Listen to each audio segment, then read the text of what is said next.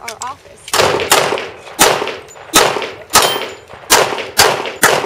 Your house for, son? How much you get your house for? like two, I don't want to go that high, but I do. Stay where I'm at, but I want to move closer to my job. You work out here?